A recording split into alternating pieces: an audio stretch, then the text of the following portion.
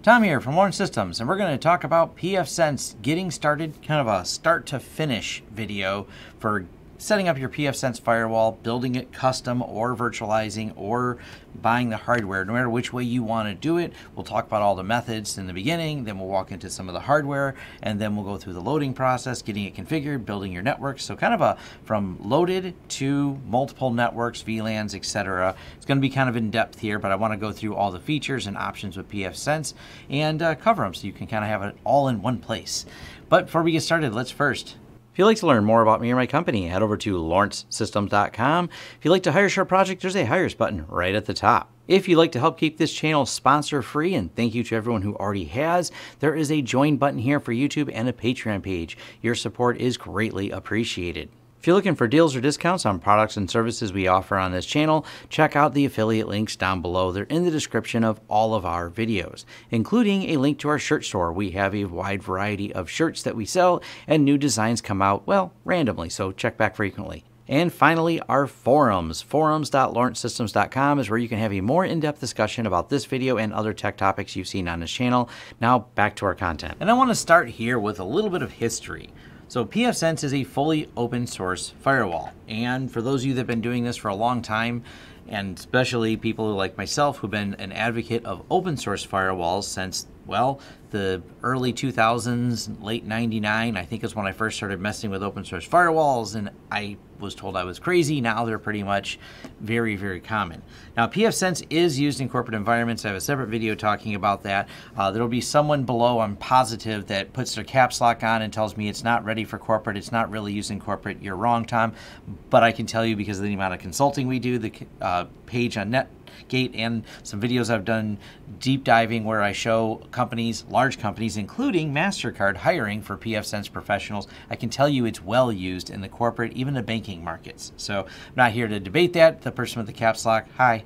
Um, anyways, I'm not gonna I'm not gonna feed the trolls today. I just want to at least mention yes, it's used in corporate environments, and yes, it can be used in your home environment. So pfSense is a fork of the m0n0wall project. So in 2014, a competing open source firewall project, OPNsense, was forked from pfSense. The first official release was January 2015. So yes, I am aware OPNsense exists. That comment comes up almost every video I do on pfSense is please do an OPNsense. OPNsense is a fork with some different opinions than pfSense. I stay with pfSense because it is well, well supported, well documented, and uh, I trust it very well. Now, important concept in any firewall is trust because this is the divider between you and the internet and all the devices you may have in your network. So uh, you have to have something solid and secure. And just because something has more features doesn't necessarily mean it's something I need. I find the features to be quite adequate in pfSense. So that's as much I'll talk about on that topic, but I'll leave a link to this here. Now a little bit more context, open source security, this is pfsense.org where you're going to download pfSense from. And it is fully open source. This question comes up a lot as well. People say, well, is it really open source or partly open source? No, it's fully open source. So I'm not sure where uh, people get that misinformation. I usually just link them to the GitHub or anywhere. You can download all the source code. You can compile this all yourself if you so feel the need to. I'm going to tell you it's much easier to uh, go to the download option over here and download pfSense. It's uh, already compiled for you. Now, what does it run on? That's an important aspect. pfSense does not run on all ARM devices. It does run on the Netgate provided ARM devices. So no, your Raspberry Pi won't run pfSense. Sorry, I don't know if there's any plan to ever support something like a Raspberry Pi. But the custom ARM boards that were commissioned by Netgate, the commercial company that provides support for pfSense and makes the hardware, when you buy a Netgate piece of hardware that does have an ARM board in it, they have a custom ARM, still open source, but they compiled it specifically for ARM. Now, those downloads, like I said, are not available directly for some other custom ARM boards that you have. And ARM's a lot different than building things on x86 because things have to be custom compiled for that particular ARM board to make it work. So the only ARM proper support that there is right now in August of 2020 is on the Netgate devices that are shipping with custom ARM boards in them. So that hopefully that clears that up. But if you're building x86, we're going to talk real briefly about the hardware before we get into the download part because, well, if you're going to build it yourself and buy some parts or maybe you have an old computer laying around and you say this is what I want to do is build it, I do have, and I'll leave a link to this, this Super Micro 1U box that um, I'm not building it because I think it's the best for pfSense. I'm choosing it because I have it laying around and it seemed like a fun thing to do a demo on. Now this has four onboard ports, uh, which is great. That's what you need is a few onboard ports. But let's say you have some other PC. And in my 2018 video, I just had a motherboard laying around that I don't have uh, well, it's not laying around anymore. I got rid of that old one, and I'm going to use this Intel card in this, but this is the same Intel card I had recommended before. And let me jump over here and show you, you can find this Intel card, and I'll leave a link to this, is the uh, 08092P Intel card that I found off of eBay. I think I paid around 35 or $40 for it, which is still what they're going for. They're relatively inexpensive. Some people think they're worth more than they are. um, but you can find these relatively cheap and they work really, really well with pfSense. These are four port Intel cards. That gives you four spots you can plug into that if you have just a standard computer, maybe an older one, because pfSense does not require a whole lot of processing power to run. Even doing gigabit networking does not require really high-end CPUs. Uh, you can plug these in and away you go, and you have four ports on that PC. Now, buying the Netgate devices, they have a whole list of them on there and they have all the specs listed on their site. And as I said, when you buy a Netgate device, one, you're going to get guaranteed to work pfSense. No troubleshooting of, hey, I got this weird quirky problem that I ran into. This is the same thing with when you virtualize it. You have these weird quirky problems you run into. Virtualizing is my least favorite way to do pfSense, but there are guides on how to do it. I have a guide on even how to set it up inside of XCP-ng. There's plenty of documentation on that. It's really popular to do, but be warned, it is also the most picky way to do it because you run into weird performance issues. That's because you're now creating a virtualization layer and then virtualizing a network interface. So there's a lot of potentially more problems with it. Um, someone will have their caps lock on saying they've run it with no problems for some amount of time. Yes, if your hardware lines up and everything aligns perfectly, you'll have no problems. If it doesn't, you'll spend a lot of time in forums going, why does it do this weird thing? Why does it uh, only get really slow performance randomly, etc. But for commercial installs, I do highly recommend buying the Netgate hardware. And if you're looking for not playing with hardware at all and you're a home user, I'm holding in my hand an SG1100. The SG1100, great box, works really, really well, and does a excellent job of up to five or 600 megs per second. So it's not going to, if you have gigabit internet at home, um, it, this is going to be a little bit underpowered for you. Uh, it's not going to get full gigabit, but for a you know, right now they're about 199 or 189 just under $200, uh, you can get a complete, well-supported, and I have done videos that this will even run full HA proxy on here with, you know, Let's Encrypt, Search, and Reverse. So you can actually get quite a bit done with a tiny little box like this right here. Anyways, on to the build process, because uh, you can spend more time at the Netgate site figuring out which one fits for your commercial uh, project. They have all the speeds and everything listed on there. So onto the commercial side here, and we're or non-commercial side of I have a computer and we're just going to build it. Let's start here. And let's start with downloading and loading it now. So now we can get to that part. And we want to download, we'll go here, architecture, 6 AMD 64-bit, which means it works on Intel, works on AMD, works on 64-bit processors. Are you going to load it to a USB mem stick or a CD ISO? Those are your two options that you have on there. So, and pick your download location. Now for demonstration purposes, not for anything more than this video, let me refresh the page real quick. I'm going to now walk through what the loading process looks like. It's actually really straightforward. So this is not installing it on this machine next to me, um, but this is just to show you what the installer looks like and go through the options. And there's very few of them, so this part's pretty quick. Um, I will mention, I've done a video on this before, recover config.xml. If you somehow goof up, completely break your pfSense install um, through some level of corruption or not following documentation properly, um, there is a way to recover it. And I, th I, thought this is a great feature that they have built in. all the configs are all in one XML file located on here. And I've got a separate video just on recovering pfSense. But what you do is you can load the pfSense CD and recover the XML file, grab that file and reload all the settings back in there. So there is also a rescue shell option. So if you are trying to fix a broken install, great. Um, I've had to use this on people who forgot to back up that XML file because you have a really easy way to back this up and A lot of people don't, so uh, that gets used more frequently than probably it should. But if you have backups, you can just reload, provide that XML file when you're doing the install, and done. You're back to your pfSense setup and configured. Key map. Uh, for me, I'm American. It defaults to American. It configures the American setup, so I'm good on the keyboard layout. No problem. Guided disk setup, auto UFS, that's fine. I have a separate video on custom pfSense with ZFS where I talk about using ZFS if you have multiple drives. Generally speaking, auto UFS is fine, auto ZFS is fine. Uh, we're going to go ahead, we have a single drive in here, just do the auto UFS. I haven't had a problem with it. And now it's installing. That's pretty much going to be it here. Goes through, installs the base, overall pro progress here. And depending on the speed of your machine is how fast this is going to install. This is all in real time on my uh, XenServer. And just about done. Uh, do you want to make any more modifications? Nope. Reboot. That's it. It's going to reboot and have pfSense up and running. That's as easy as the install goes. That part is so straightforward with pfSense. Now, I will show you what it looks like when you boot up to the first time menu, if you if you need to look at it. So here's the first time boot menu, and we'll, we'll, we'll just fast forward while it runs through all the uh, boot process setup.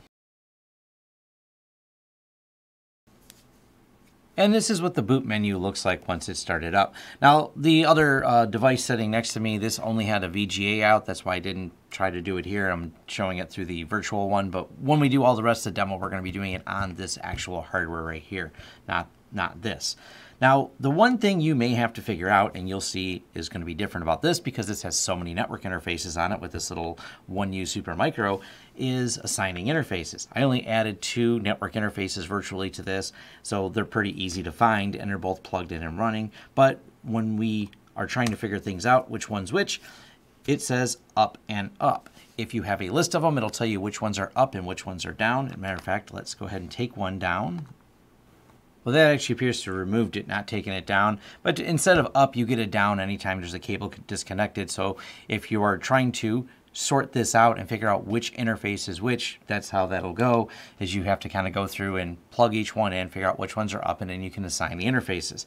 Now, if you buy one of the Netgate devices, it's kind of small here, but uh, they're all labeled uh, opt, LAN, WAN. So uh, all the Netgate devices come labeled out of the box with all of them, especially the ones with multiple interfaces. They'll have the interfaces listed on there so you can figure out you know which one's which without having to go through the menus at the console level.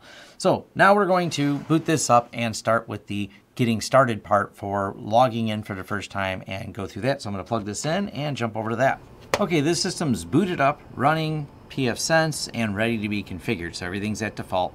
And I didn't have to do too much guessing because I know these Intel cards quite well, that if the card's facing this way, you know, with the little lip part at the top, this is IGB 0, IGB 1, IGB 2, IGB 3. So by default, IGB 0 is going to be for the WAN, IGB 1 is going to be for the LAN. And I have here a edge switch, and I have done a review of this. This is the Edge Switch 10X. You can find it on my channel if you want to know more details about it. I just happen to have it. It was black and matched this, so that's why it's here. It's not like I'm absolutely endorsing this is the best switch to work with pfSense. I have found pfSense to work with amazing variety of switches. I haven't found one it doesn't work with. We've set up Cisco, HP ProCurve, um, lots of UniFi, obviously, and UniFi being one of my preferenced ones, uh, but the Edge switch line works fine. So there's it's fully standards compliant when it comes to things like setting up VLANs, so I haven't had any issues setting that up. But what we're going to do now is start setting up and configuring pfSense once you've decided how you want to do this. Now, a managed switch is not a requirement, uh, but if you want to do VLANs, a managed switch is a requirement to set up VLANs. The other option would be having everything, because we've got, well, plenty of network interfaces on here, having each interface provide its own network. Now, doing a VLAN versus providing its own network. VLANs are very convenient. I've got an entire video about VLANs, but I will mention that VLANs are a shared medium. So if you want to do multiple networks or a VLAN, they do share a physical cable, so there is bandwidth limitation. You cannot get the full amount of two networks simultaneously if they're split up with VLANs. So I'm not going to spend too much time on it I have a VLAN video, a whole explainer on that, but we will be covering that, how to configure a VLAN in this particular video and how to get the networks configured. Now, pfSense by default comes up with 192.168.1.1 to log into it. And it's a self-signed certificate, so we're going to accept the risk and continue. Admin pfSense is the password. That is from a default load. It does not ask you during the install to set up a password. It asks you nothing other than those options you set. So you have to set up the password yourself um, once you go through the wizard. Now, the interesting thing is it's already routing traffic. And the way you want to configure the WAN side on a pfSense, generally speaking, for most all use cases, is going to be you want the let's say Comcast cable or whoever your internet provider is, Comcast, Wide Open West, there's a lot of different providers where if you're out of the country, there's more, way more than I'm aware of. You're going to want to have that set up in bridge mode so your WAN gets a public IP address, or in some cases, when we're doing this commercially, the public IP addresses are statically assigned and provided to us from the provider. So that's an important aspect. But I can't really do that here. This is in my lab, so there's going to be an option that we change to allow it to work inside my lab properly. Hostname, pfSense YouTube. Seems like a good name, but you can call it whatever you want. DNS servers. I like 9.9.9. And override DNS. Allow DNS servers be overridden if it's on DHCP. I do not want that to happen. Now you're setting the primary DNS server for pfSense to use to get out to the internet, or you can just leave it blank and allow override provided it's DHCP. The options are yours. This is still different than when we get further down in this review and tutorial of how you would set up DNS specifically for other things. I have a couple separate videos on that as well, but we will cover that. Um, but I choose 999. Choose the one that makes you happy. Next, I am in Detroit, so we're going to choose America Detroit, but choose a time zone that works for you. So go here. I just like that Detroit's in there. It always made me happy. It automatically has a time server in there to set the time. That's great. Configure WAN interface. Now, normally, if you're a home user and you're just getting an IP address from your uh, provider. DHCP works perfectly fine, especially when it's in bridge mode. You should get a public IP assigned to it. You have the option of PPPoE. A lot of people have a lot of questions about PPPoE, and I have no answers for you on it. Spend time in the forums if you're setting up PPPoE and have problems. The reason I bring that up is because we just don't see that many of them here in the US. We really see very few of them on our clients. Um, it does work with PPPoE. I do know there are nuances to it that I'm unaware of and have no way to stand up and test. So if you are having problems with that, I'm really not the person to ask because I don't have a way to demo that. We're going to leave this at DHCP. But if you had a custom MAC address, you could assign that here too. Maybe you have some reason you want to do that. Uh, custom IP addresses, anything can all be put all in through here, your PPPoE or PPTP configurations.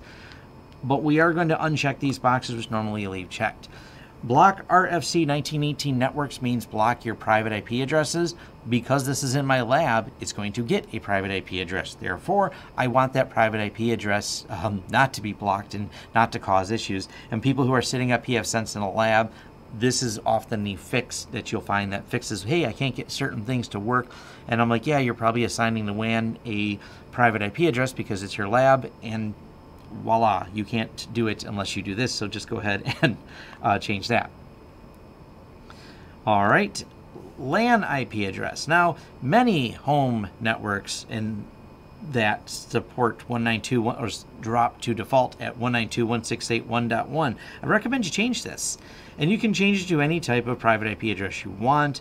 Um, I'm going to put 192.168.55.1 just because. But if you leave it at 192.168.1.1, the challenge you run into is let's say you're on another network, your friend's network, but you want to VPN back to your pfSense system.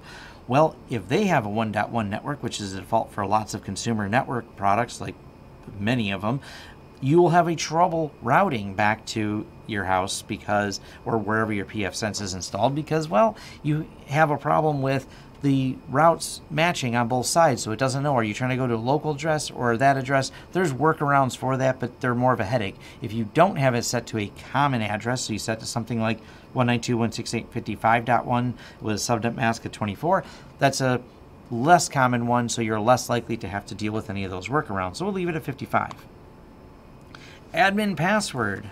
We're going to go real complicated here because I've got to type this a few times so There's my admin password, and we're going to click reload. Now, while I'm clicking reload, it's going to reset and configure it. But my computer was assigned a 192.168.1 address. So simple solution here. I'm just going to unplug the edge switch here. That's going to drop the connection here and the edge switch because it's managed doesn't need an IP address. I want the IP address of the edge switch to be in the same 55 range. So when I reset it, it's going to, because it only takes a few minutes from that reload, depending on the speed of your computer, where it reconfigures the interfaces it reconfigures the DHCP server. So now it's going to be in that 55 range. So this is going to get a 55 dot something address, and this will get a 55 dot something address. So I'll see what address I get. All right, my computer now has 192.168.55.11 as its IP address. So we'll go ahead and ping something. Okay, I can ping. Well, that didn't respond. Let's find something that responds to a ping. Resolved. There we go, Google resolves and responds to pings. So I'm online, I have an IP address assigned to my computer, we can log into our pfSense here, so we're to click finish. And because I unplugged and plugged it back in, when I click finish, it should redirect me, and if it doesn't, it's going to be, I'm impatient. So we'll just do here. Oh, there we go. Now we 55.1. Accept risk and continue. Admin, and my rather short password because I have to type it a lot. And we have pfSense loaded and configured. So, first things to do here is really up to you. So from the security standpoint, this is a question that comes up all the time is, all right, I loaded it, now what? Is it secure? What are those extra things I need to do? What are the defaults I need to change to make this box more secure? And the good news is, as long as you have a good password, the defaults on pfSense are quite secure. It does not open any ports to the internet. It does normally block the WAN, except for we uncheck those boxes. So the out of box config for pfSense is quite secure. If there was a more secure default, and this is my quote I've heard them say more than once on the pfSense, if you watch their Hangouts, I think I've heard them say if if the, if there was a more secure default way to set it up, we would just make that the default way to set it up. So the good news is you're secure. You don't have any ports open out of the box. Now it doesn't mean there's not a million things you can do with pfSense to change it, modify it, and bend it to your will. This is one of the things I really love about pfSense is it's extremely flexible. So we're going to go ahead and close this. I mean, this is just letting you know Netgate, pfSense, community support resources, some support links, etc. And we'll close that because we don't really need that information on here. So we'll start with that, customizing the dashboard. I like to have the interfaces on the list here. Uh, what else do we like? We can put the gateway up here. We like to have those on the list. Uh, we can list our packages, I guess, so we can customize that. Uh, service status is good too, so we'll throw the service status on here. If you're running OpenVPN, I do like the OpenVPN being on there. And uh, where was the package one again? Installed packages, and I'm gonna say the finest one, the last one it will load on here would probably be maybe the smart status. So you got service status, gateways, captive portal, if you're using that, CARP if you're using that, uh, load balancer, picture. Picture's kind of neat. You can put a picture on there. I've uh, seen a few people do that. It's kind of nice. You can load a picture of, for example, what the network looks like when you're dealing with remote systems so you have an idea. Um, and we'll put the smart one over here. It'll also do thermal status as well if you have those sensors in there. Now, the smart status is only going to be if the system has the ability to see the smart status on that particular one. We're using a drive that does, so that works on there. Now, that's pretty good for the dashboard. It gives you plenty of information on here. You can see that this is an Intel Atom C2758 at 2.4 gigahertz. Um, there's you know general statistics on here. One thing to note is make sure that you have plenty of room on here. So uh, don't have um, too much uh, space taken up on here. So if you do run out of space on there, that can be a problem. This is one of the reasons I have that video on building a custom one with a lot of space. But for the most part, not too much going on there in terms of space uh, when you first started out. It comes down to if you start playing with and customizing the logs. Now, under the general setup, we have the DNS settings. We have the, if we want to change that setting I already set to allow it to, or not to allow it, override. Yeah, that's something that is uh, important whether or not you want to change DNS on there. Time zone we've already set, so all these things are, like I said, already configured. Uh, you can customize the top navigation. We can switch this to a different color uh, interface, I believe. right here, the login page you can change if you want. They have different colors for like the login page color, things like that. You can disable dragging of it. There's not a lot I really change much in here. Um, show host name and banner. There's a lot of little tweaking you can do. I don't do much in terms of that level of tweaking on there. But I do like, because screens are so much wider now, to change that particular one, dashboard column. So we'll go ahead and hit save. And then jump back over to the dashboard here. And now we have three columns. Now, if you note when I'm dragging things around here, they're pretty easy to drag. Uh, just go ahead and hit save though when you're done to save the positions that they're in. So if you want to move these around and rearrange it, but as, as you get more information on there, building your dashboard, um, having a three column layout is a lot easier. And of course, most screens are a lot wider now, so it's pretty straightforward to do. System Advanced. Now this is where I do make some changes. The default config for pfSense is to put one HTTPS open on the LAN side. It is blocked on WAN, so the out-of-the-box config, this cannot be administered remotely. Um, I'm not going to bother opening it up remotely. It's not needed for this particular demo, but I do like to change the port it's on. And the reason for that is if you're starting to run other services or other things you want to forward or open up the WAN in certain ways, having everything at the default port is um, I'm not saying security through obscurity is a good thing, but you know having on a different port because most systems, if there's uh, something on your LAN is trying, it may frequently try that local port. Also, if you start running things like HA proxy, you run into the problems of sometimes you're like, hey, it's forwarding to the web interface, not to the uh, HA proxy that I set up on 443 that I wanted. Those are all issues you can run into. So I do recommend changing the TCP port. And We're just going to use 10443 out of habit. Um, like I said, it's not hard to figure out if something was scanning your network and find it. It's more about just not having it on a common port uh, that will cause conflict with other things you may run, especially if you get something more advanced like an HA proxy setup. As far as the rest of this goes, I think everything else in here is pretty straightforward. I don't see any reason to change this, except I do like to turn on SSH. Um, I usually leave password and public key on, and then once I have my key installed, I'll change it to public key only. So that's reasonable to me to set that. Everything else here as far as defaults works perfectly fine. It does have the ability, if you have a serial console, uh, to redirect all the output if you were setting this up somewhere. So we'll mention that that's in there. And password protect the console menu. I've seen people debate about this, whether or not they would enhance security. Yes, it does uh, in the fact that if someone has physical access, they would have to put a password in to get to the console. But if someone has physical access, it's kind of game over anyways, because if they can get to the machine physically. So I it's not something I usually change at default because, well, I figure if they got physical access and they're logging directly into it, they can also just reboot with a boot disk, grab your XML file, and extract your passwords.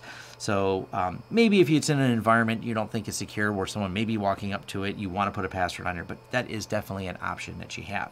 Now, when you do this redirect, so we redirected it here, TCP port 10443, you'll see one moment redirecting to, and it's going to make those changes for me and forward me to the updated port. And we just have to remember to put colon 10443 each time we um, log in. So it's going to keep the IP address the same, 192.168.55.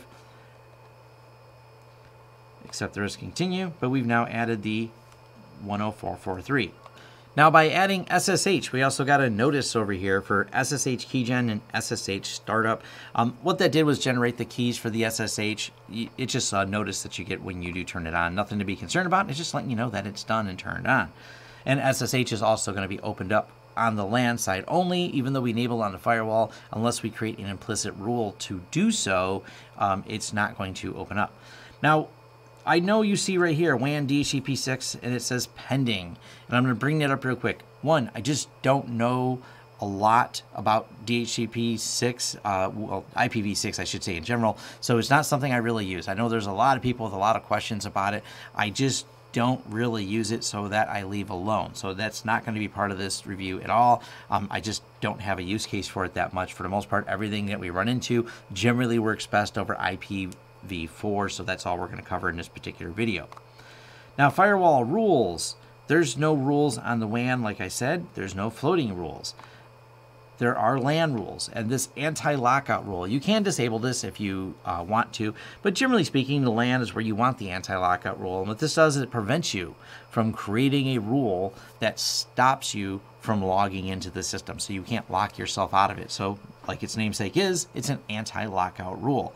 Because if you were to create a rule to block port uh, 10443, well, that would be an issue you ran into. Now, one more thing I will change under advanced over here is under firewall and NAT. This is another customization that comes down to how you want to handle things. You can do this on a per rule uh, basis or you want to do it this way. I usually do it this way, but this can be done in each individual rule. This just basically sets the default. What you're doing is setting up NAT reflection, or sometimes people call it hairpinning. So let's say I open up a port. So I have a port up on my WAN that opens up something to, let's just for example, use a camera system. And I want that same IP address, which would be my public IP address, to work inside the network and outside the network for convenience. For example, when you're on your phone, that way when you connect to the LAN, you don't have to change where it connects to. This is basically creating a hairpin. So when NAT reflection is turned on, is I just like I said, I recommend very in the beginning before you start turning these on, just make that the default. It goes out to the WAN address and it loops it back and says, "Oh, I seen you ask for the WAN address in this port, but we know that's internal," and it hairpins it back to being local. So when you're on the LAN side or any of the internal networks, it brings that back around. So that's something I like to turn on, and also will save you a lot of time of troubleshooting when you're doing some opening of ports and things like that. So we're just going ahead and hit save, and away we go. And of minor note, uh, I did leave it on, but the web GUI redirect, you may want to turn that off once again if you're using it because it does listen still on port 80 to redirect you. So we'll go ahead and just disable it and say we'll turn that off. And all that's doing is redirecting 80 to 10443. Once again, if you're running something like a, a proxy or some other things on here. You're like, hey, I hit, told to hit the firewall, it did, and it keeps redirecting me over here. Yeah, that's because you have that turned on. Um, so that completely gets things off. And so you'll just have to manually remember to type in 192.168.55.1 colon 10443 every time you want to log into the admin interface. It won't, you know, do those niceties of just redirecting you. Now, as far as everything else in here, package manager, routing, setup wizard. You can rerun the setup wizard, updates, pretty straightforward to use update, and user manager. Another thing of security on here. Now, for the most part, um, there's not a lot you need to do with any of these. Each one of these is for a more advanced use case. But user manager is another one that I'm going to say out of the box default getting started. Yeah, you might want to create something other than admin. So if you create another one, and we'll just create a user Tom, and then we create a password for Tom. And then we'll make Tom an admin. We'll say his full name is Thomas. And we can even paste the SSH keys in here. And we can click save. And we can log out. Log back in. System. User manager again. Edit. User can't log in. Now, it's still a level of security by obscurity, but by disabling the admin account, someone can't just guess through admin passwords if they're on the local network. They first have to know what username you're using. Um, so it's one more layer, and you know, hey, at least I've disabled the default admin on there and have it set up so I have another admin user as this. So just one more little thing that I usually do, but not really necessary. I kind of leave that up to you. Now let's get to the networking part of this and setting up interfaces. So assignments, we have a lot of interfaces on here because we have the four port Intel card and this has a built-in Intel card. So altogether it starts at zero so that ends at seven giving us eight interfaces on there. And the IGB 0, 1, 2, 3 are all on that Intel extra adding card that I have on there. And then we have the other ones if we wanted to add more interfaces. And we can just do those real quick, so hey, why not? Now, adding all these interfaces does not actually activate them at all. We have to do something to activate them. And these are all physical interfaces, not VLANs. So we click on here to the interface like opt1. It's not enabled. So if we wanted to enable it, all right, and we'll call this some other network.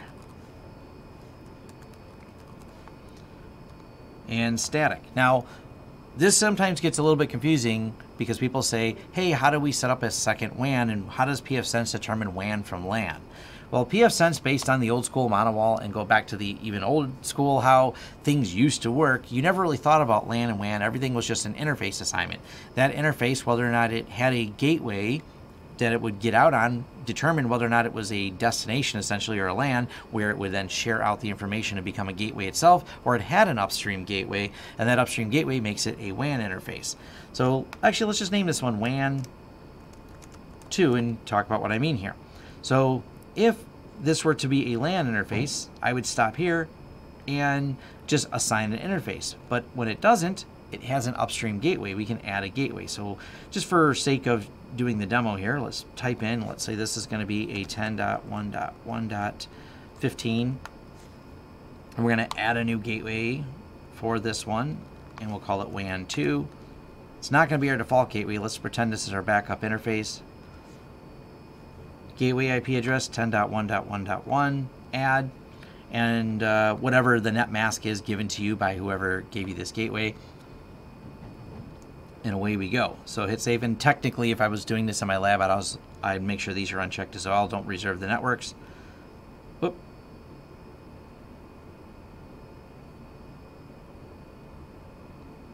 I gave it the wrong name. We have to make sure it's called WAN2, and interface with this name exists. So we give that the name WAN2, save, apply.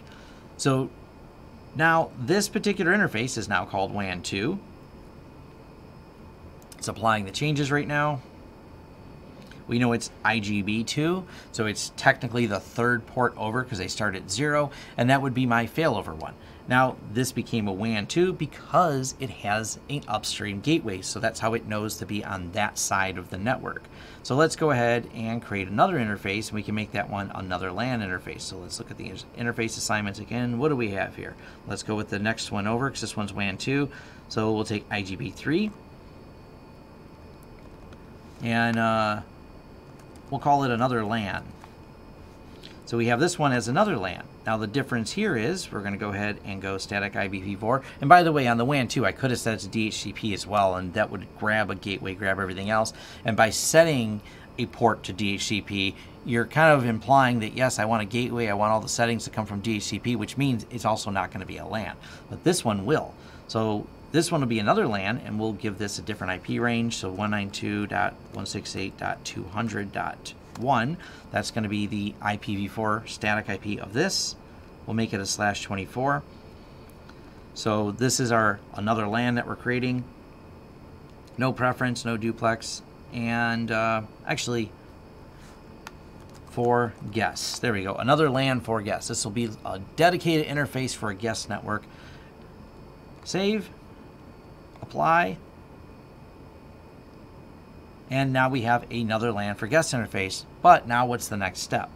So next step is creating firewall rules. So we go over here, another LAN for guests. All right, pass, another LAN for guests, IPv4. Protocol, this defaults to TCP, which means, for example, lots of these other things, including DNS, which runs over UDP, and ping, ICMP um, down in here in the list, right, right there, these won't work if you set it to TCP only, which is the default. And I've seen a lot of people create these rules on these networks, and they create a rule and they say, "Hey, it won't work. It won't get. Um, it won't ping things, for example, but it seems to have some things working." Yes, anything TCP works. Anything um, not TCP won't work. So we're going to change this protocol to any. So we have action pass, and what we're doing is create a rule to pass the traffic on this one, another LAN for guest. Description is going to be allow all. Oops. And why do I have allow in all caps? Don't need the caps on. These are just really handy descriptive rules. We don't really need to get into advanced, but any rule comes with really advanced options if you want to play with them. Uh, that goes beyond the scope of this particular tutorial. Now, both this one and this one work fine. Matter of fact, let's plug into it and confirm it's working. But before we do that, we need to have an IP address set up on it. So we're going to go to Services, and we need to go to DHCP server. For every interface you create, whether it's a VLAN or a physical interface you're attaching it to, it does create a list here in the DHCP server. So that's great. We do have to define a range though. So we'll say 100 and to 200. Now you can add a whole series of pools. There's way advanced things you can do with DNS. For the most part, you usually just set one long range of pool, maybe some static on there. But now we have essentially this another LAN for guests. Whoop.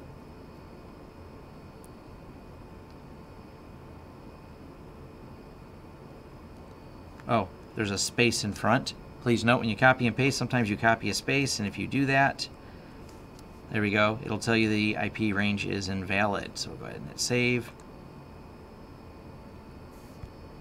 All right, so now in terms of interfaces, we've got this and we've got this one here. So we can now go and unplug this, which is my computer, and we're gonna plug it into that other port right here.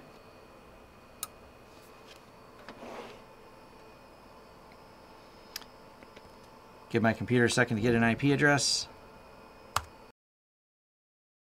Oh, there we go, already has it. So 192.168.200.100. So let's go ahead and log back in. Now, a couple different ways we can log in. So we'll go ahead and here.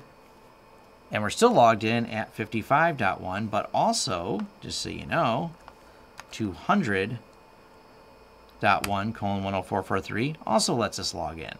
Now, we call this guest network and probably you don't want your guests logging in. So let's talk about creating rules now that stop that from happening. So we're going to go over here to our rules, another LAN for guests.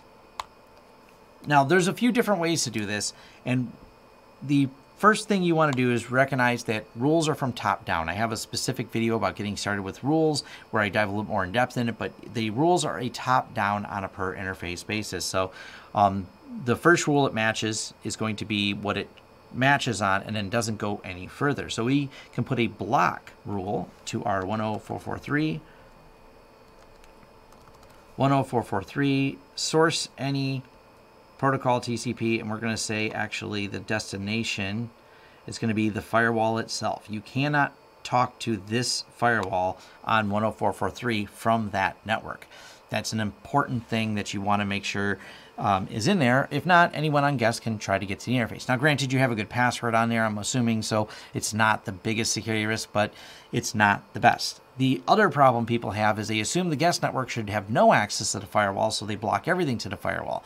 Well, that's a problem because you have DHCP on the firewall, you have uh, DNS on the firewall, and if those are providing those things, well, now how are you going to get out to the internet.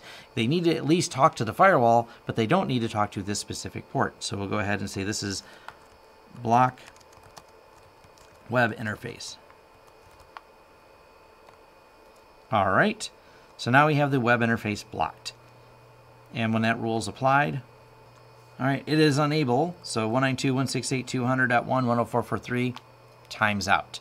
So we're going to plug my computer back in over here to the regular LAN so we can keep administering it and show you how to further lock down that guest network because even though it can't get to 192.168.200.1 colon 10443 because we put a block in there, it can get over to our primary LAN. So if it can get there, then it can go into and get to 192.168.55.1 colon 10443, and we want to make sure we stop that.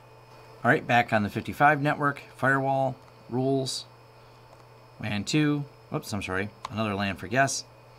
So this firewall, block port 1443 block web interface. Now, let's say we wanted to block, block things going to LAN, which is our next goal. So we have this allow traffic. There's a couple different ways to do this. And there's not necessarily one way that is absolutely right. And sometimes there's a lot of customization you need to do where you want it to be able to access some networks and not others. So you can create an alias, for example. Say alias and we can see like an IP range and we'll add or we'll label this one um, my private networks because maybe you want to separate things in a couple different networks and you want a list of private networks and that private network is going to be 192.168.55.0 slash 24 actually we want to list it as a network there we go dot zero and we'll call this one LAN. And it's maybe we have more than one of these is why you want to do it as an alias. Now the advantage of an alias, if you have, if we had created more than one, so maybe there was a 50 network and the same thing, we'll do this, my other LAN, you can then list out all the networks and then have this block in there. So we only have one, so we'll just hit save and show you how an alias works. Apply, firewall rules, another LAN, and we need another block rule. So we can say block, and then we can go here, block all protocols, not just any. Where's the destination? Single host or alias, and uh, my private networks. Save. Apply. So if it tries to go to my private networks right here, and for each time I add another private network, I add it to the list. This is not allowed to have that as a destination. So it's not allowed to have the destination firewall, and it's not allowed to have the destination uh, these networks on here. So now all I have to do is update the alias, and by updating the alias, if I have this rule repeated in different places, it'll work. Another way to do this is go ahead and uh, edit this rule here, and you can just say invert match and go right here and say invert match LAN net, save. And now we can say the destination, as long as the destination exclamation point means not is not the LAN net, we can go. But I only specified one network, so then I could specify my private networks also as an option as an alias and say destination, not that. So there's a couple different ways you can do it in a single rule, separate rules. Um, allow traffic to accept is how I would probably relabel this rule. So I would say like, you know, and we'll actually change it to an alias in case we had more than one. So my private networks allow traffic except for my private networks. Save, apply, and actually we're going to go ahead and delete this rules. We don't need rules to be twice. So block the web interface, allow traffic for except for my private networks. So all right, that's been applied. And hey, why not? Let's go ahead and try this real quick. And we're going to pick something we can ping. So go over here to services, DHCP server. Uh, we'll go here and we can see what things we have. So here's my laptop at 55.11 and we have 55.10, which is the, I think this is probably, let's over here. Cool, we can see it. This is the edge router I'm able to ping right now. So from the 55 network, I can easily ping this, and I shouldn't be able to ping it from that 200 network. So we're just going to move my computer back over real quick.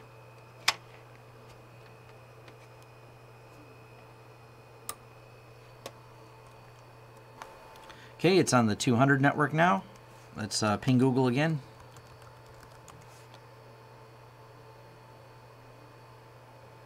Google's responding. Awesome. So I'm online, but what about when I try to ping 55.10? Nope, I have now blocked the LAN network from this particular network interface. So my guests can get online, but they can't see what's on my LAN or whatever you put on there. Maybe you have your camera system on that separate one, and now you've stopped anything from coming over there. So now I'm going to go ahead and switch it back and put it back in the normal network and we'll kind of walk through this same scenario, but we're going to do it with a VLAN this time. So the concept's almost identical. The firewall rules, DHCP servers can be the same, but there's a little bit of difference in how we assign the interfaces, and I want to make sure that's clear because, well, VLANs are extremely convenient, especially when you have larger networks and you don't have the luxury of running one individual cable to each segment of the network to each individual switch. And VLANs obviously create a lot of uh, easy ways to segment things. So even though they share the bandwidth, um, there's still a lot of good reasons to use a VLAN to create separate networks. Um, and it makes it easy, especially when you just need to pivot back and forth between them.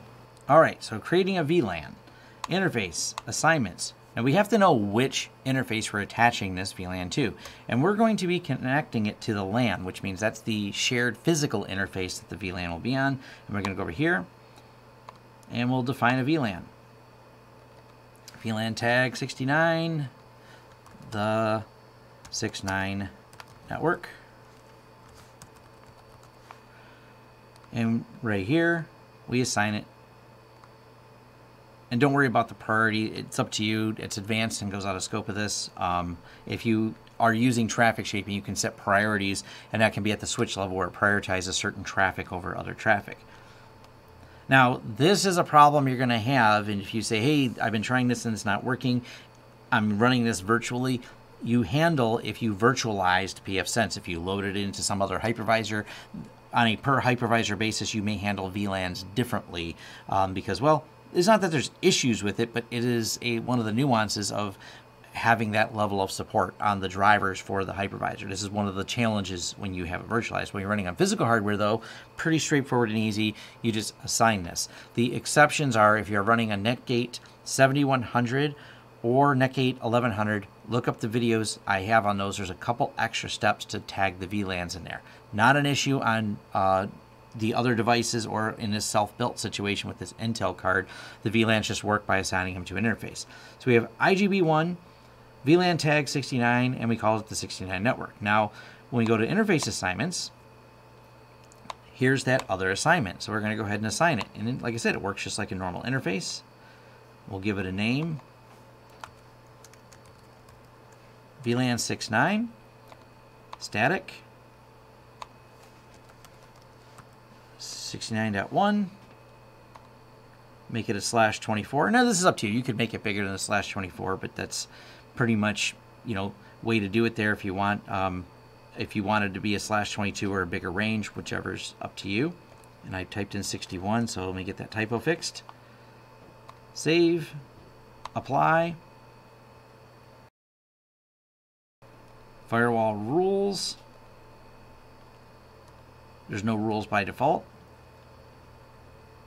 So we'll go here and say any now, here comes the next question. Is this another secure network?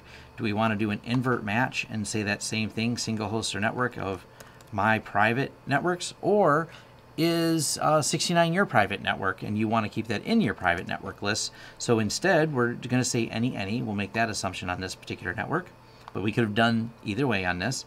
So we won't say invert match because that would make a mess. We'll just say allow all hit apply, and now this network's in there, but this network's not set to private, which means the guest can get to it. So we don't want the guest 69ing, so we're going to go over here and say firewall aliases. We'll edit this alias, and we'll um, add network. It's a dot zero on this part here, slash 24.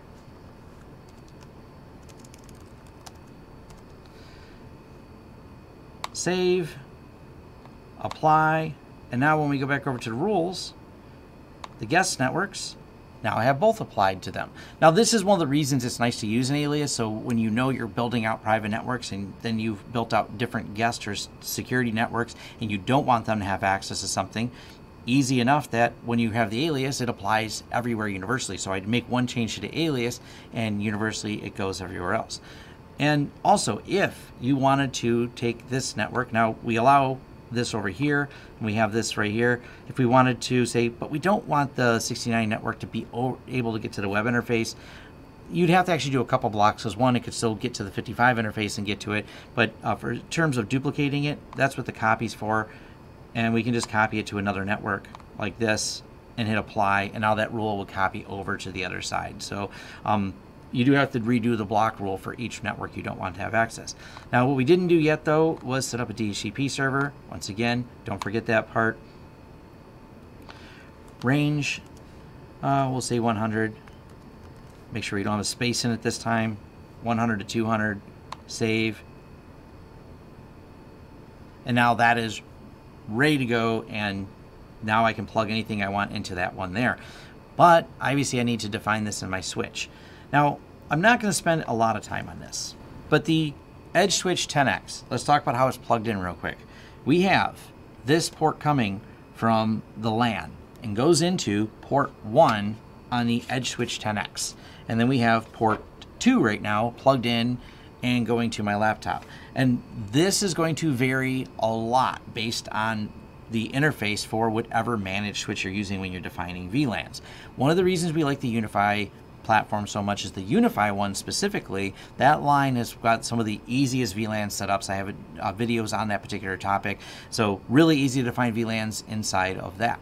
When you're defining them in other switches, this is where people get stuck because they have similar but not always the same methodologies to do this, and it varies from Cisco, it varies from MikroTik, it varies from Edge.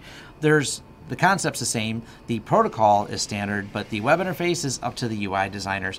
So I'm going to show you, and I have a review on the Edge switch, but this is the Edge switch to set up a new VLAN ID tagged 69 right here. So we have this set to be the trunk port, port 1. Then we have this to allow all untagged traffic to come in. Then we say grab the tag traffic on here and forward it over to here as untagged.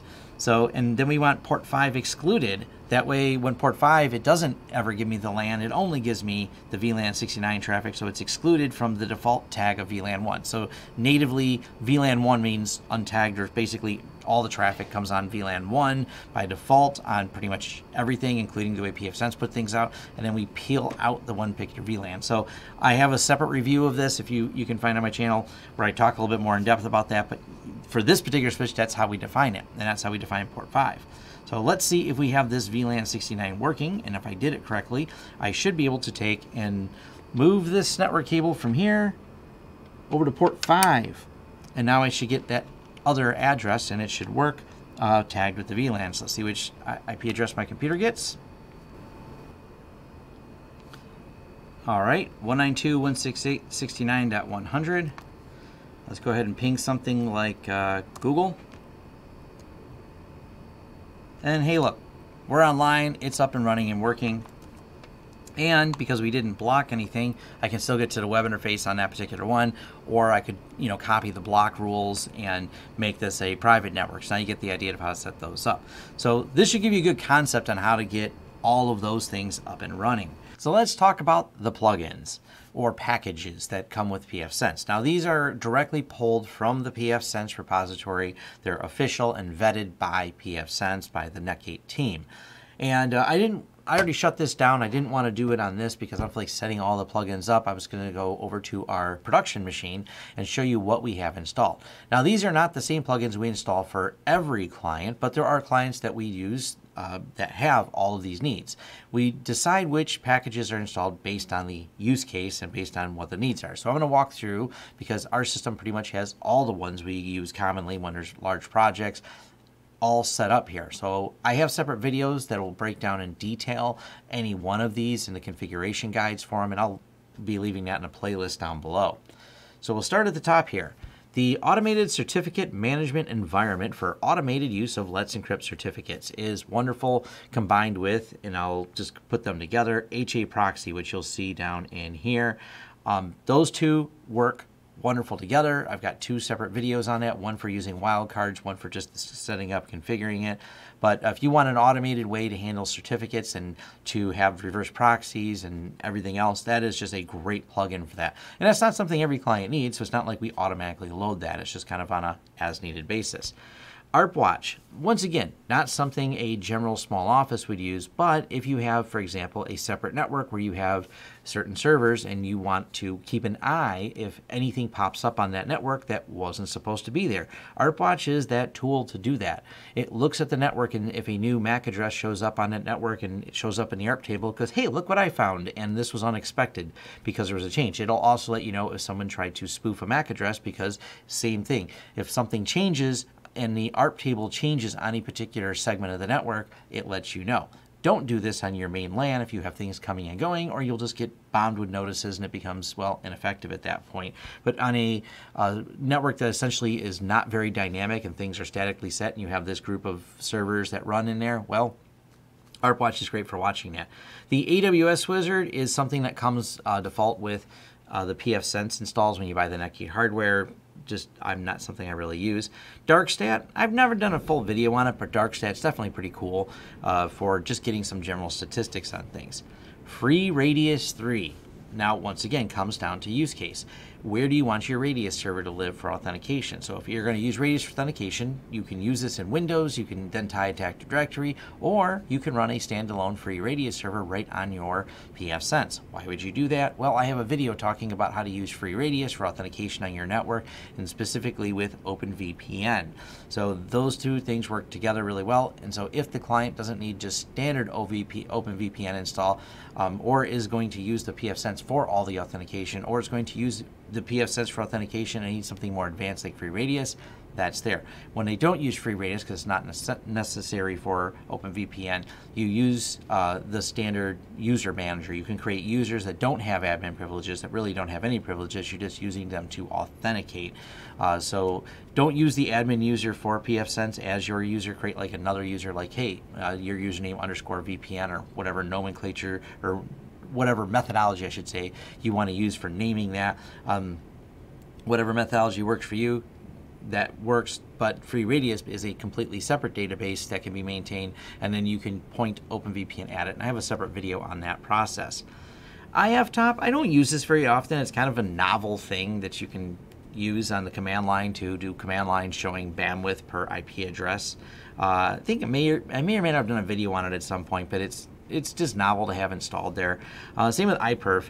iPerf is benchmarking, and you can have this and it comes up on a web interface uh, so you can you know do speed testing now that's not doing speed testing through the firewall it's speed testing you know from port to port and uh, man, that's still sometimes pretty handy to do so hey why not it doesn't really take up much space it's easy to load uh, IPsec Profile Wizard, this is something else Netgate installs. It's not something I really use. I just didn't remove it. Um, same thing with the Netgate Core Boot upgrade. This is for updating Core Boot on Netgate devices and something else that if you have a Netgate device, it's going to come loaded um, by default.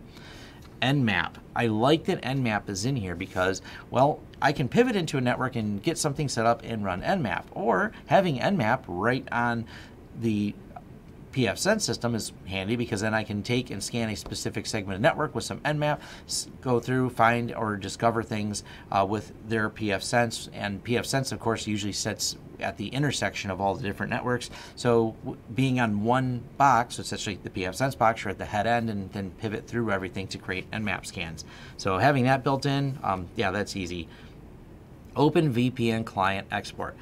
Hands down, one of the if they're running a VPN, and you always run this, uh, when you look at my OpenVPN videos, you understand this packages the executable with the certificates and the settings in it um, for OpenVPN. So when you set up OpenVPN, it's you want a one single executable install with everything rolled into it. Um, that is the tool that does that for you. So if you've watched my videos and I've had a few people skip over that part. They're like, hey, I can't find that export. It's not built in. I almost think this should be a built-in one because if you're loading, if you're going to do anything with OpenVPN, use this and makes your life a lot easier. If not, you have to manually set up everything, which was tedious uh, when you want to manually create an export file, but this creates it all for you. So that's uh, I, I, one of my favorite features because the way it does the packaging um, for OpenVPN. PF Blocker Devil. Uh, devel is important, which means development version. I've done videos on pfBlockerNG. This one's great. I definitely uh, like that quite a bit as far as you know being able to manage things for blocking and DNS. Uh, like I said, I got a couple of videos on that. Watch the most recent one because the most recent one covers the devel version versus the non-development version. Uh, status traffic totals eh, it gives you some uh, traffic totals page on the status menu give a total amount of traffic passed in and out over the period of time hours days and months uses the vnstat for collection and Suricata. I just did a video on Suricata. And Suricata is extensive, great for security, also very um, extensive to set up and tune.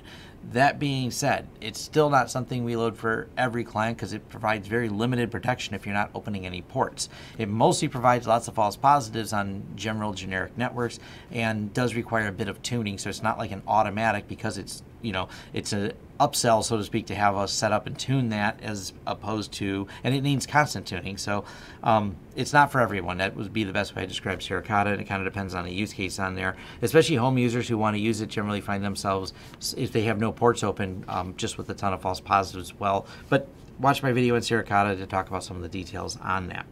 The Zabbix agent Well, that's only if we're going to monitor it in Zabbix and if we're going to actively uh, watch what this pfSense does, you know, watch for uptime. Zabbix is a great way to do this. There is a Nagios plugin as well if you're a Nagios fan. I don't use Nagios. I don't have an interest in it. Uh, people ask me to review it. I like Zabbix, the competing product to Nagios, and be one of those ain't broke, don't fix it, don't have the time to learn it, but it does support both for monitoring on there. Now, in terms of the entire list of every available package, that's all listed right here. There's plenty of them in the list. It, you know, if you have some other specific thing you want to do, and I know someone's going to ask about Squid and SquidGuard. I have a video on that of why I don't like Squid. It just becomes a headache trying to install certificates on there. So don't expect me to run a video on, or create a video on that topic other than my rant about Squid. Not a big fan of it. Um, this is also interesting, and I don't use this, but I know there's some use cases people have, is the Telegraf plugin. It is an agent written in Go for collecting, processing, aggregating, and writing metrics, package dependencies, etc. Uh, I've seen a few people talk about this. It's not something I actively do right now. Um, exporting things with Telegraf over to another server for, you know, getting data pushed over if you want to do some external analytics on there. So um, that's kind of neat that they have it. It's not something, maybe at some future point I'll take a look at it. And if you want the uh, UPS system, for example, to shut down the pfSense when there's a power uh, outage, that is built in as well. So you can, for controlling all APC UPS models, and I think there's that one, I believe. There's one more plugin that does the same thing called Network UPS Tool or NUT, and uh, it provides monitoring for unauthorized power supplies and shuts them down. So that kind of covers it for the plugins. But now, where do the plugins show up? Well, that's a little bit more complicated because the answer is really everywhere. So if you install a plugin that shows up as a service, like Acme certificates or HA proxy or FreeRADIUS, yeah, those are all places those will show up or the Zabbix agent there. In the case of traffic totals, and we can go over here to traffic totals, that shows up right here. So when you're breaking down some of the uh, graphs and things like that, which by the way, uh, it is normal for this to pause before it loads any of the information in there. Um, that is something that definitely happens when you're doing the traffic graphs. So, all right, and it does, as I said, it takes a second to load, and here's why. When it renders the page, whatever they're using, um, how they render it, it's a lot of data on there. So when you look at the memory footprint of this particular page, you can see it's one of the biggest ones here in my uh, task manager here inside of Google Chrome. So it does take a little while to render this and get all the data, but it does break down these kind of cool looking graphs of, you know, data, what we're using on each one. It, it's kind of nice. I like this plugin and or package. Uh, works pretty well. Now from here, I want to go through all the menus. So I've covered, you know, getting set up, the packages we use, kind of all the other process. Now I just kind of want to do a general overview of all the features. So it's a, I just want to make sure this next part is kind of like just that I'm going to talk through everything, but not dive into detail on any of them, uh, just because of brevity and, well, how far we are in this video so far. And I don't use all these features, but at least I'll show you that they exist, kind of give you a broad sweeping uh, of all the different things in pfSense. Even though I don't use them, these are kind of neat to have. And one of the first things I'm going to talk about was going to be BGP. Now I bring this up because this is a real enterprise level feature. There are people who frequently have set these up in data centers at that edge level and have large blocks of IP address they're going to handle with BGP.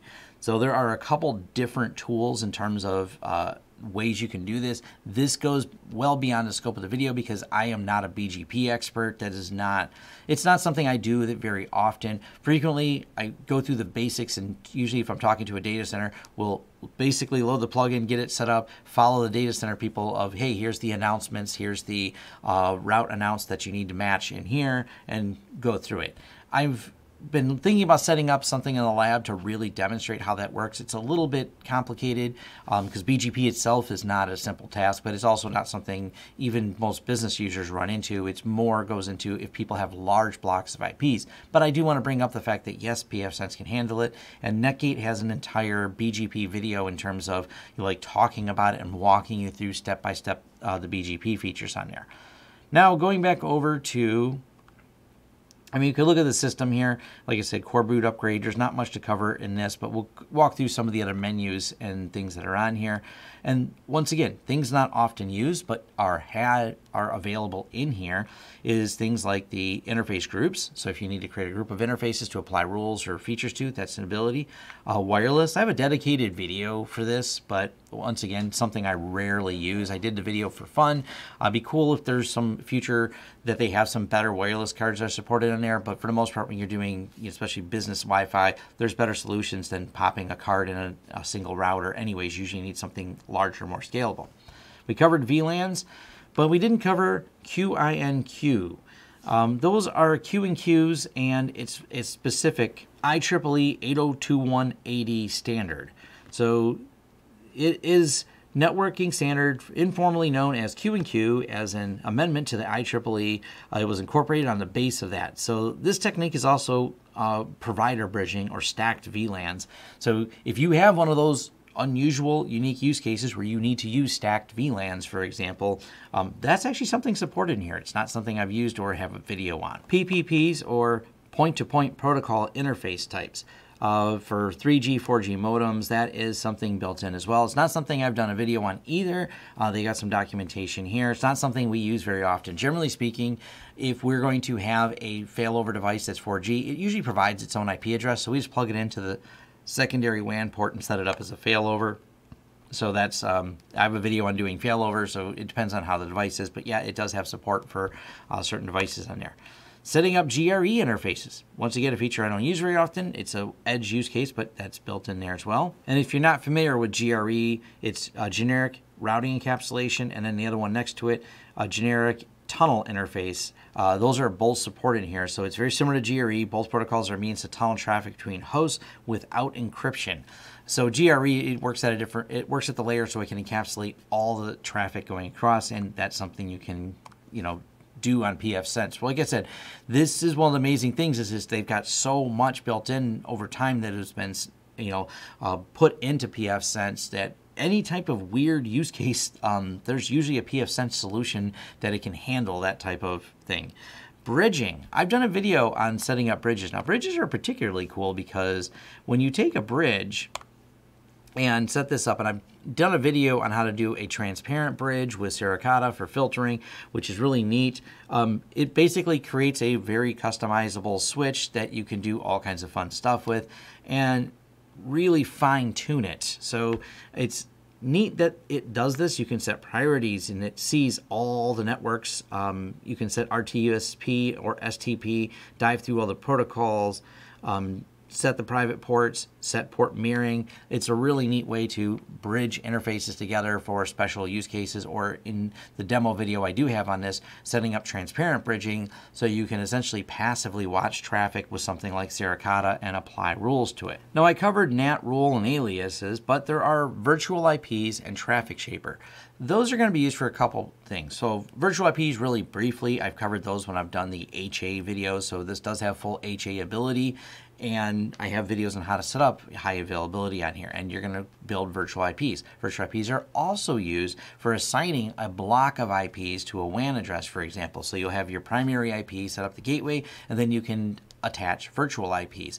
You can do it on the LAN side, you can do it on the WAN side. There's a couple different options when you do these, um, whether they're a virtual IP for HA, a virtual IP shared between more than one device, or just assigning multiple blocks of IPs to a single interface, whether it be LAN or WAN. Those are all options you can do in virtual IPs. And then Traffic Shaper, which I have pulled up here.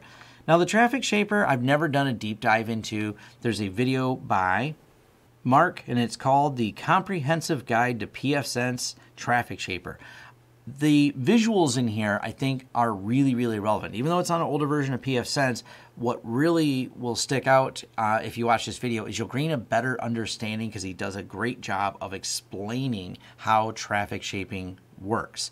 And that's what I think is a key takeaway from this video. Matter of fact, I think the video is more about traffic shaping in terms of, and it doesn't matter about pfSense, just in general, the first half of this uh, hour long video breaks down all the details on traffic shaping. Matter of fact, more than half of it is.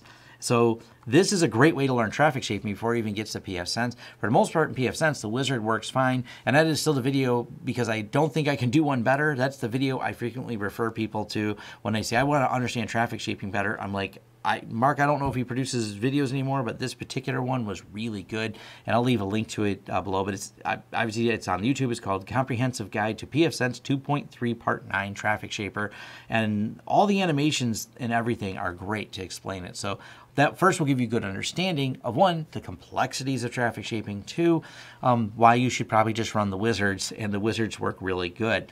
The other thing I do have a video on is how to set up uh, queue limiters, and I've got a specific video on this. So does the uh, Netgate has a Hangouts video where they talk about it more in depth. That can be a good way to tune it. It can be a little tricky to tune them. That's one of the reasons they have the wizards and pfSense to run and do this because traffic shaping is a uh, complex topic, and I think Mark did a great job on that. So I'll leave that there. Now, one last thing in a firewall is scheduling if you have a use case for this, I don't, but I've had people say, "Hey, I do this so my kids go to bed at night. I have them. I have the firewall set to block their computers. I have rules that are tied to a specific schedule." That's a really cool thing. Um, I really do like that a lot. The fact that there's a scheduler in there. It's just not something I use very often, but it's novels. As you can see, I'm not really going through and using it, but hey, it's it's pretty cool um, if you have that kind of use case. Now, going down the list here, I've had a few people ask me to do a more detailed video on like a DHCP server. There's really, to me, it seems self-explanatory on DHCP. You set it up just like I showed earlier in the video. Um, but I do like when you go to the log settings in there, you can just click the plus and add a static mapping. But of note, and I'm not going to go any further than this on it, but I will mention that with that setup, you do want to make sure that you don't try to map things in the middle of the pools. That is kind of an annoyance that you can't statically map something. So if the pool goes from 100 to 200, for example, you can't map something statically at 150. You can map it from 99 below or above that 200, so 201 on up in an IP range. I bring that up because there is kind of a workaround for it. The DHCP server does support multiple pools, and we've had to do this because we had someone who had you know, when we did a rip and replace to their firewall and we put a pfSense in, they had static mappings in the middle of the pool. The workaround is you can create multiple DHCP pools. It's actually really easy to do in a DHCP server. The simple way to do it, but annoying, is the fact that I can add a pool from 100 to 149, then start another pool that goes from 51 to 200, and then I can statically map the 150 in between. Kind of annoying you can't map in the middle of a pool, but actually it's I've seen some firewalls that can, some firewalls that can't. So it's probably better that you don't have things scattered all over the place. Generally, you want to put all your servers in one block or grouping and maybe all your other devices in another. And I like to have some level of organization for it. But uh, when we take over networks, it's not always as easy as that of just swapping everything to it. Makes us happy. Uh, sometimes we have to deal with what we have because it would be greatly disruptive to do it otherwise. Now VPN support, I've got separate videos. I've not done a video specifically on uh, IPsec VPNs or L2TP in there. Most of the time, you're wanting users to connect. If you want users to connect, OpenVPN is your go-to. It works, it's well vetted, it's solid. That installer allows you to export a single executable, run it on a Windows computer. It works fine in Linux as well. Not the installer, but the export file it creates can be imported. I've done a video on that of how to import it into uh, like an Ubuntu-based distribution. OpenVPN is a great go-to for individual computers connecting.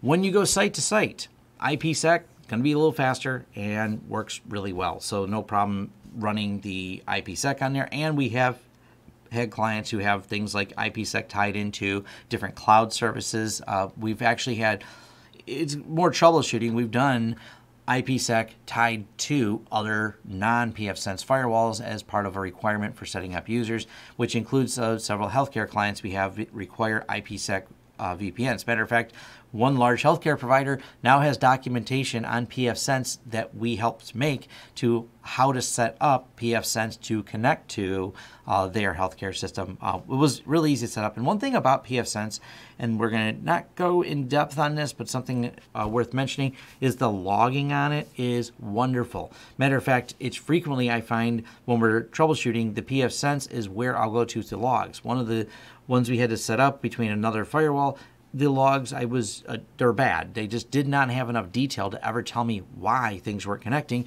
But by looking through the pfSense logs because they're so extensive, I was able to figure that out. So that's something that I found really helpful. Um, that there is a lot of extensive logging in pfSense. But it does have all those VPNs um, and different types you want on there. Captive Portal. Now this is also under the services if you want to set up captive portal. I might do a video on it at some point in time. And once again this is something you can tie in with FreeRADIUS as well. So captive portal FreeRADIUS and assign like bandwidth and things like that.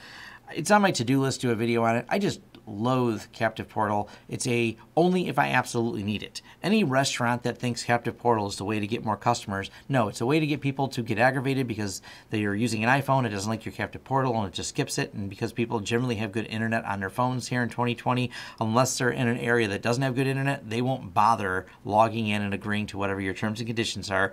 That's well proven. Uh, we even had some uh, commercial restaurants that are franchises that hate the fact that the corporate makes them put a thing in there because it's the number one complaint that oh god they hate the stupid splash page they have to get to with the captive portal and it makes people come and talk to my uh, staff member. And this is at a fast food restaurant. They actually contacted us the franchise owner and we put wi-fi in there which i know is against the franchise rules i'm imagining but they're like yeah people just want wi-fi and we like having a wi-fi that doesn't make them come up and ask questions to the people all the time that are serving their burgers. So captive portal love hate relationship. If it's a necessary evil it does exist inside of pfSense and it uh, works as well as Captive Portal works. It's not the fault of um, pfSense or any other captive portal, they always have problems with phones. That's a, your big hangup. Portal works pretty good when it comes to browsers. Even Windows 10 has gone much better with Portal and understands to redirect it. And my Android Pixel phone works good. Samsung, I don't know what they're thinking. They don't seem like Portal. And iOS is it, it, that's a random crapshoot. Of I'm not I'm not an iOS user. I know they have a lot of trouble with. They at least my experience has always been they seem to be the more troubled people when trying to get onto Captive Portal and get signed in. But I'm not going to spend too much time dwelling on it. It does exist. Maybe one day I'll do a video on it. Let's move over here to status. These are all the statuses for all the different things going on. Now, these statuses you can get to, and I'm going to mouse over right here, related status page. That's commonality across pfSense for that you'll see. So the top of most services also have a related status page where you can see all the leases and things like that. Or you can go here to the general status page and you can see things like, let's look at the queue status. You can see what's in the queue, what's going across. This is for the uh, traffic shaper. And there's a lot of different things in there. System logs, the traffic graph uh, that I showed earlier, your gateway status, HA proxy stats, interface stats, load balancer, monitoring, etc. Now on to diagnostics. Diagnostics are wonderful in pfSense because of the one I use the most, which is going to be your pftop. I've got some videos where I talk about troubleshooting pfSense. I go right to pftop to be able to figure things out all the time. It is really helpful um, in watching and tracing any connections. And of course, it's got filtering so you can filter for a very specific connection even on a very large network you can narrow things down right away to exactly what you're looking for. So I probably use that more than anything else in here. But there are things like backup restore command prompt darkstat um, I mentioned before darkstat gives you some stats. DNS lookup this is kind of neat if you're having a weird DNS problem you go here to DNS lookup and you can look at this. Now, this is particularly handy if you have a different result than your client and you're remoted into your client, you can remotely go in, do DNS lookup on their system. Okay, what does their system say? And kind of start pivoting around and looking around in there. So that's that's something something that's pretty helpful on there. Now, oddly, if you're wondering how to reboot or shut down a pfSense, those are located here. I always thought they should be under system. There's so many other things in here. It would be shorter if they were under system, but um, I don't get to make that choice. Perhaps someone has a hack that moves it over there, which would be kind of funny. And it's not that I reboot it or halt it very often. I just always thought those were misplaced. But um, the designers think otherwise. I'll, I'll disagree with them on that. Um, but hey, packet capture. Now, I have videos on how to do full packet capture directly into Wireshark using pfSense and SSH and tunneling all the data over but it also just has the ability to create a PCAP file. So if you want to filter down, which is obviously a better idea than just dumping everything, but you can go in here, grab a packet capture, download a packet capture, even on a remote system. And a good example of this is going to be when you're troubleshooting a VoIP phone. You're going to go, all right, I know the IP address of the phone. I don't know why it's not working. Give me all the data from that phone and filter it to the host even the port if you need to, and grab all the data related to it, drop it into a PCAP file, throw it over in Wireshark, and do the diagnostics. Great that that's just a default feature built into pfSense. More advanced, like I said, if you look in Wireshark and pfSense, I have ways you can filter data right out of pfSense right into Wireshark, uh, which is great. So that's about it for the diagnostic. There's ping and ARP and uh, authentication testing. There's a lot of little things you can do in here that are just general handy utilities. And by the way, when you do authentication testing, each authentication server you set up, whether it's the RAD server or Radius server, I called RAD server, or local database, um, or any other ones you've added, especially if you've you know tied in some external authentication, this is nice. That way, if the user can't log in, you're like, oh, that's weird. You can try their username and password here and test it against one of those authentication servers you set up. Um, these are all those little tools that just make your life easier when you're going through and troubleshooting. Is uh, spend some time going through the diagnostics, but like I said, when it comes to tracing, there's a lot of that. Oh, there is a port test on there for if ports are open as well. Um, I've suggested people use that quite a bit which is down here, test port, host name to look up, and this can be internally or externally. Because before you port map something and someone will go through NAT and say, hey, I want this opened up and it's not working on my WAN side, I can't seem to get there, I'm using some external service, I'll jump inside pfSense and look internally, and if I find the device isn't responding internally, well, it's not going to respond externally. So once again, another great troubleshooting on there. Now, system logs. I really like I said, pfSense does a good job on this. They dump all the system logs out with a lot of detail. That is handy when you're trying to troubleshoot, especially VPN. There's going to be a lot of detail in the VPN. There's going to be a lot of detail in the firewall logs. Make sure if you choose to keep a lot of logs, and this is a tunable setting, that you also have enough space for them. Or, and the other thing you can do in pfSense, push it to a syslog server. And currently this is being pushed all to Security Onion uh, for all the syslogs. So that is a great way you can do it. You can send everything to a remote syslog server or multiple syslog servers if you have more than one place you want to land it. Um, this is a way to handle without having a massive drive, a place to land all the logs. So that is uh, definitely a feature in there. I will comment though, I think logs should be in reverse order. The default to the newest logs at the bottom. To me, I always want the newest logs at the top so I don't have to scroll down. And the GUI log entries defaults to 100. I set it to 200. You can set it to higher so you can dump the logs on uh, down the list. If it's more helpful to you, you can set it a little higher. Depends on how fast your machine is and how, not your PF pfSense machine, but your browser for handling how much gets dumped on the screen at a time.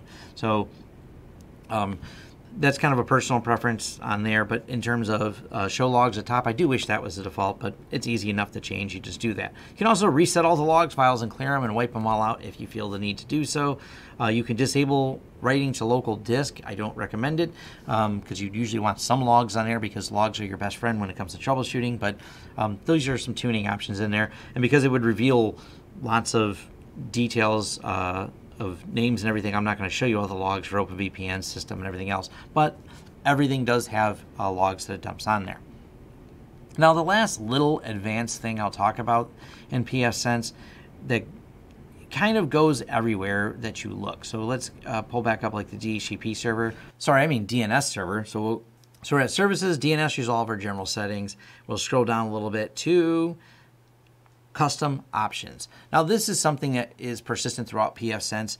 There's easy ways without going to the command line, without opening up special config files and adding something on. And this is something that survives upgrades, reboots, etc. And is part of the actual config XML file is custom options. And I bring that up because for any particular service, they have created a lot of menus, but maybe they didn't create that one extra thing you want it to do, that one extra parameter that you want to pass on the command line. And that on many other systems is either impossible to do on some firewalls or would actually require you to go through and um, edit some special config file that probably wouldn't survive the next update. pfSense thought of that, and they have this option for custom options. And it's like I said, through many, many of the services have this at the very bottom. You can just pass whatever parameters you want to add on in the config file without having to go and go to a command line and edit the config file. So I like this feature quite a bit. And it's once again saved as part of your XML. So it survives updates, upgrades, and is part of the backup. So if you have those weird custom things that somehow they didn't make a menu for, um, which they've made a menu for most everything, you can then pass those through. Now, in the case of exactly what is this, this is the way pfBlocker integrates. So pfBlocker creates a list of the DNS blocking information and it wants it added on. So you're saying server include, so hey, use the config file plus include this config file and passing a parameter along as well. All right, so that's it for getting started with pfSense. And this should hopefully get you started, get you loaded. You're still going to be debating probably which way you want to do this, whether you want to just buy a device or build a device or virtualize it. And like I said, I mentioned beginning all the different pros and cons of those. But this is enough to get you going with it. I'm going to make a playlist that I'll leave linked below for any specific topic where I need to go in depth. Because some of the videos where I go in depth on like OpenVPN or how to set that up, I'm going to build that list down below. So I have all the most recent versions because sometimes there's more than one version of those videos. I'll make sure I have the most recent one only in the playlist because um, sometimes I leave the old ones in case you're using an older version or have some reason to reference them. They're pretty much still the same, but when I remake a video, I will cover a lot of the nuances and changes that may come with a new version of pfSense. Um, and sometimes it's having a time to recreate some of those videos when something changes, but you can kind of get through if the menus have changed a little bit and see that it might be a little different, but it's enough the same that you can get the idea of how it works. So good luck. Uh, if you have comments, concerns, head over to the forums. I'll link this over in the forums uh, where I'll actually probably have a list of the videos as well. Um, so we can have a more in-depth discussion of maybe what I need to cover next. But hopefully it's enough to get you started and get you playing with uh, a pretty outstanding when it comes to features firewall. Thanks. And thank you for making it to the end of the video. If you like this video, please give it a thumbs up. If you'd like to see more content from the channel, hit the subscribe button and hit the bell icon if you like YouTube to notify you when new videos come out. If you'd like to hire us, head over to lawrencesystems.com, fill out our contact page, and let us know what we can help you with and what projects you'd like us to work together on. If you want to carry on the discussion, head over to forums.lawrencesystems.com where we can carry on the discussion about this video, other videos, or other tech topics in general. Even suggestions for new videos, they're accepted right there on our forums, which are free. Also, if you'd like to help the channel out in other ways, head over to our affiliate page. We have a lot of great tech offers for you. And once again, thanks for watching and see you next time.